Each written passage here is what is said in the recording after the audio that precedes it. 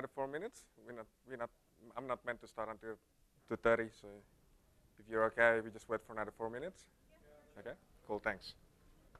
All right, I'm gonna, I'm gonna cheat a bit, guys. I'm gonna steal uh, one or two minutes early, uh, just because I got a few things I wanna talk about and I only have 20 minutes, so I, I just wanna go to, through things. You can hear me? Can you hear me now? Over there? Can you hear me? Yeah, good. Can you hear me over there? Cool, thank you. Uh, thank you very much for coming to this session. Um, so my name is Harry Wiputra.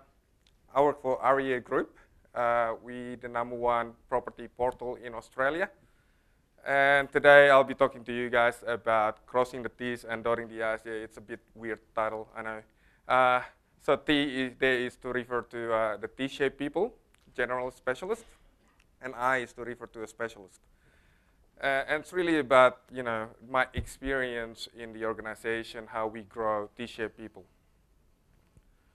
So just a little bit about REA. Uh, so uh, we started in 1995 in a little garage in, in a suburb in Melbourne. Uh, we have about 700 people working globally for us. We have offices in Hong Kong, Luxembourg, Italy. Um, and that, that's our purpose, really. We, we, we want to help people to live their property dreams uh, and do it in such a way that's simple, efficient, and stress-free. A little bit about market capitalization of REA. Uh, that's the share price in the last five years. And um, as you can see in the last one year and a bit, it just skyrocketed. It just go ballistics. Uh, we valued at $6.5 billion at the moment. Uh, and that put us within, I don't know, top 80 or top 70 in Australia. Um, so we, we also like to think that we can achieve this because we moved to Agile in about four years ago, uh, which enable us to react faster to customer needs. Uh, and as a result, you know, we can do much things better. Just a little bit about the culture of REA. Um, things that we value are things such as collaboration, passion, and innovation. So uh, pictures here are about uh, hack days that we do. Uh, so you've heard about hackathons, FedEx Day, so this is similar. So every three months, the whole company stops for about two days. Uh, when I mean the whole company, is literally the whole company. Uh, and, and we will we will create teams, small teams, and, and, talking about different functions from the teams, marketing, sales, operations, product, IT, getting together, working on ideas. And the last half day, we will showcase to everyone. And there will be trophies and, and prizes and everything. Um, that's our CEO over there uh, with the funky glasses and our CIO with the funky Santa, Santa Claus hat. Okay, so today, uh, talking about growing T-shaped people in the organization. My, my passion is about building, building people, growing people. Toyota has a really cool saying, you know, first we build great people, then we build great cars. So uh, I like to think the same way. Like we first we, we want to build great people and then we build great software. We build great products for our, for our users. And I, I really love when I see people grow in the organization. And I'll, as, as a result of that, I, I love to see when, when a team work together, collaboratively together. So uh, last November, I went to Toyota. I went to Japan for, for a week to do a lean study tour. And as part of that, uh, I had the opportunity to, to visit Toyota. Uh, one thing I, I, learned from Toyota is they have a concept of multi-skilled worker, uh, which means that the people, when people join Toyota, typically as apprentice when they graduated, uh, and the, the, training program is about 10 years uh, in Toyota, they would learn different skills. There's no role description for that person to come in.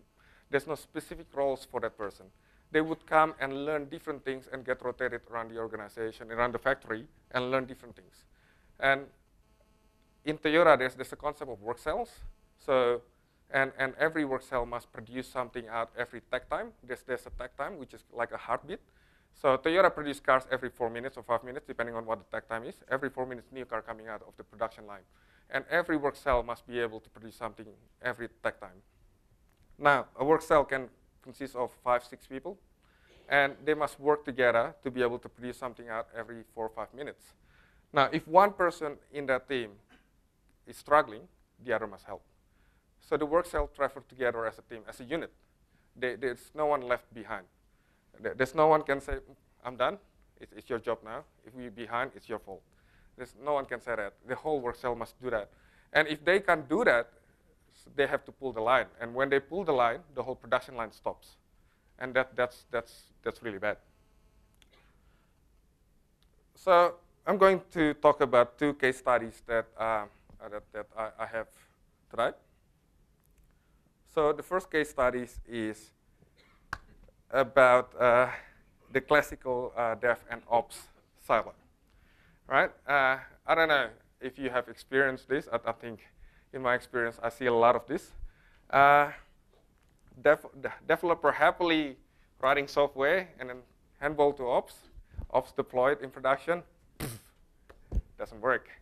And there's a lot of, you know, blaming game over there, happen over there. And this is what I saw in REA when I joined three years ago. Uh, the operations people will deal with the production issues, and the, the developer over there, the team, move on to the next great thing. And that is just not fair. We got ops get woken up in the middle of the night, uh, dealing with production issues they don't even know. You know, they don't even build the software, and yet they have to deal with these things. It's, it's just not fair. Uh, and, and, this is a, a wall uh, that we have about uh, production deployment planning. And when I joined REA about three years ago, we do our deployment every two weeks. Uh, it used to be four weeks, and then they reduced it to two weeks. And every two weeks, it took two days to do deployment. It's just extremely painful. And my first job when I joined REA is, all right, now you deal with deployment. And, and I had to deal with deployment, and it, it just it's just extremely painful. Every morning we have to get about, I don't know, three representatives from each team to get together in front of this wall to talk about, okay, what, what are we going to deploy today, what the dependency are, and we waste about 15 to 30 minutes just doing that. Just imagine the waste in doing all this. So, and I think the root cause of the issue is this, is which is the organizational, organizational structure. We have a CIO that has two direct reports, which is head of operations and head of delivery. And as you can see straight away, there's a there. When there's a silo, people will naturally align to what their team is doing. That, that's what they, they're being optimized to do. And, and we're seeing exactly that. So we decided three years ago we're going to do some rotations. We want to build some empathy and we want to build some, you know, uh, collaboration between the, the, two, the two teams. So we will rotate two people every six months from operations to delivery, from delivery to operations, and just keep doing that. And meet one of my team member. His name is Edo. He's probably the oldest developer I've ever seen in my life, uh, but he is awesome.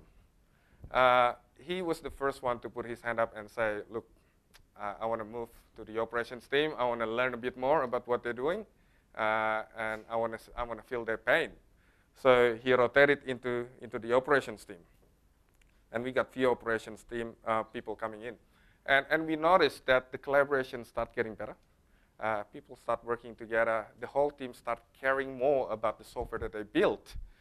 Um, but it, it wasn't enough. There's something else is missing. Uh, so meet Trent. Uh, Trent is used, was the operations engineer, and he moved from the operations team to delivery. And he was the one that noticed this problem. What we've done, essentially, we moved the silo from outside the team into the team. So we have these operations people coming into the team, and yet they are still the one that doing all the deployment and get called in the middle of the night. And it just, it just doesn't make any sense. So now instead of a whole team dealing with the problem in the company, we have one, two people within the team dealing with the problem. So uh, we discussed at length with Trent, and we, we want to we wanna improve this situation. We got the opportunity to start a new, soft, uh, in a new project. So what we did is we gathered people uh, from around the company that has the mindset, that has done the rotations. We put them together, and we told them, that's it, no ops there's no ops in your team. You all responsible for operations right from the start. And these people, because they have experienced the pain, they understand, they, they want to do it. They want to do it themselves. And we said, look, Trent gonna help you guys, but Trent gonna leave the team after a few months. You guys need to be self-sufficient, and you guys need to be able to do it yourself. Right from the start, they start talking about monitoring. They start talking about alerting. They start talking about continuous delivery pipeline. And it's just amazing. It, it completely changed their mindset. And, and, it's, it's now more about you know, how we can do this together rather than this is my role, that's your role, but this is how we do it together. So I see more of that. I see more Trent coaching people, how they can do the uh, infrastructure well, how can deal with production issues well. And this team create the first single-click deployment in the whole REA. That was the showcase that we did about two years ago. Uh, that, that's our head of delivery pushing the button for the first software that we did with single-click deployment. And it just changed the whole culture in REA. And there's so much you know, uh, excitement that, that we finally able to do this within the organization. And I started to see uh, production issues getting less. Uh, we can now deploy multiple times a day. And even the attitude of the product manager change. In the past, the product manager will, will like to jam every single thing into the release because the next release might be two weeks away. But now, can't do it today? That's fine, we'll do it tomorrow because we can deploy much faster. I'm gonna talk about case study number two. So I inherit this team about two years ago and I'm, I'm just, I, I, wasn't sure what this team was doing, whether they was doing waterfall, whether they're doing agile, or they're doing something in between. Um, they're, they're an agile team, they got a wall. But one thing is interesting is uh, they got big upfront, upfront requirements. The product manager and the BA would get together and design solutions. And not only that, they, they want the team to estimate on it. They want the team to, okay, we got a solution, can you guys estimate on it?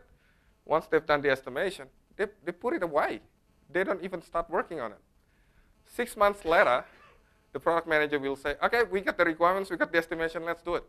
It's just like, what? It doesn't make any sense. You're holding someone accountable for, for irrelevant information, something information that's already not valid. And we find that uh, instead of actually delivering value to our customers, we are focusing more about following a plan. We are focusing more about meeting a deadline. Success is about meeting a deadline rather than delivering value to our customers. So this is Natalia. Natalia is a, a, a BA, uh, sorry, Natalia is a QA in, in that team. So when I, when I look at that situation, something has to change. And uh, I try to influence the product manager as much as I can, but the organizational structure is still the blocker. The product manager belongs to another line of uh, another functional line. Uh, so I try to influence the BA because that's within my direct influence. And I try to work with the BA at that time to change, to challenge the product manager, to ask the question, why? Why are we doing this? What is the value we're trying to bring to our customers? Uh, what is the problem we're trying to solve, and try to get the whole team to be involved. Uh, and it was clear to me after four or five months, the BA wasn't ready for this journey. Uh, so I had to I had to move the BA to another team because he wasn't ready. But I have Natalia here, which is a QA in that team. During our regular catch-ups with Natalia, um, I found that she saw exactly the same thing, and she was the one that voicing a lot of these concerns. And she was ready to leave the team, actually, because she was frustrated with the way the team works. So I said to Natalia, look, there's an opportunity to make a difference now. Uh, why don't you step up? Why don't you become the BA of that team? And this is, if you're frustrated, this is your chance to be able to make a difference. And she took that opportunity. She, she jumped and became a BA. She didn't have any BA training before, uh, but she has the right mindset to do it. So she became the BA of that team. And quickly, I, I see a, dif a, difference in the team. The team start working together. Natalia will challenge the, the product manager. Uh, why, why are we doing this? You know, uh, whenever the product manager asks her to come up with a solution, it's just like, no, no, no, no. We have to bring the whole team into discussion. So I started to see a lot more huddles. So That's Natalia doing the huddles with, with everyone in the team. And start asking about why. What's the problem you're trying to solve? We were doing personas, trying to understand the people that we're building the software for, doing concept mapping, and doing a lot of workshop with the team together. And, and the team owns the solution now. And there's, there's no greater waste in actually, you know, uh, building something that the user will not even use. So by doing this, we, we, we understand more about the user. The team actually took the initiative also to meet, to meet with real estate agents, understanding more about how they use the system and, and learning from there. But now I have another problem. Natalia was the, uh, the only QA in that team, and now I'm losing a QA. So then the team start asking me a question, you know, like, what, what are we going to do? We don't have a QA. And uh, I discussed this at length with Natalia, and I discussed this at length with key members in the team. And it's funny, because their answer was, we'll do the QA. We don't need a specialist QA. We will do the QA together. And eventually the team said, cool, we'll do it together. There are people in the team that's not comfortable. They've been doing the de de development coding for the, you know, for 10, 15 years. Now they have to do QA. And somehow there's some sort of stigma that QA is less pre prestigious than, develop, uh, than development. But, you know, I just don't understand how you can, you know, you can get away with trying to write code and get someone else to test it for you. You got to have the full ownership of the whole thing. Quality is the responsibility of the whole team. It's not the responsibility of someone. So we agree as a whole team that the whole team will do QA. Natalia will, will act as a coach. So Natalia will coach the team how to do good QA. Natalia will help them to build a good test plan and how to execute it. But Natalia will not do the work. The team has to do the work. And I can see a lot of improvements from that. You know, I see less issue, less back and forth stories going from QA to develop uh, to, to, to, doing, uh, less of that.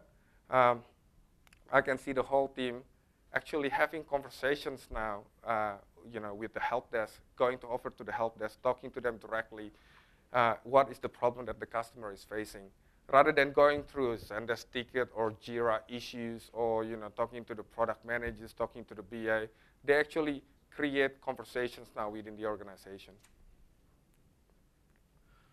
So that's, that's what I have. Key takeaways is got to break down the functional silos. That's, to me, the functional silos is a barrier to uh, uh, high-performing agile teams. Uh, as, so, as, as long as you have roles, you will optimize to your role.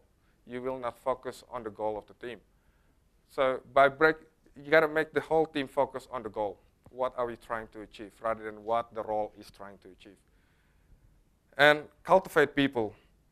We need to build a learning organization where people can learn different aspects of the uh, different functions. They can learn more uh, wider skills, not just one skill that they, that they, that they know. And by doing that, people become more well, well-rounded, people become more mature, uh, and as a result, they become more effective, not just for themselves, but for the whole organization as well. And by doing this, we also create a leadership pipeline. So people like Natalia, people like Trent, yeah, people can observe this problem in the organization. They are the next candidate for the next leaders. And I'm happy to see Trent is one of the uh, leaders, leaders in the organization now. He's, he's leading an initiative, and he's doing really well.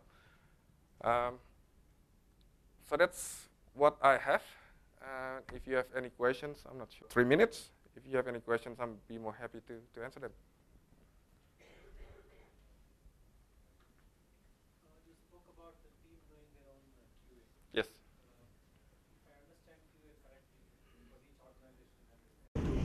QA also does the testing, or is it just the process uh, assurance of the overall uh, team processes? So the QA, what I'm talking about is is is, is both. Uh, so it's, is doing the testing, but the process is is we, we have the the defined process. So we we do TDD and BDD and then and then at the end we do exploratory testing. So that whole thing is already set up from the start. So it's really the manual act of doing the testing eventually is, is the one that the team has to do it. What percentage of that QA did you finally end up automating? Sorry, Sarah? The QA. How Yep. much of it did you end up automating? Uh, the QA, we, we, en- we automate a lot of the, uh, the QA. So a lot of, it's more about the exploratory testing that the team has to do it themselves. But even the automated testing, the team has to create them themselves. Yeah.